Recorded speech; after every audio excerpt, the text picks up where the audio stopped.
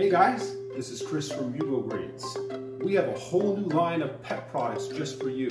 Did you know that microgreens and wheatgrass and barley grass are extremely healthy for your dog, cat, hamster, and rabbits? Well, now we have grow yourself kits just for you and your pets. Very simple to grow. I got video instructions and written instructions on the back. We have, and I'll show you the varieties that we have. We have red cabbage. Check that out. Very healthy. We have kale microgreens. We have arugula microgreens.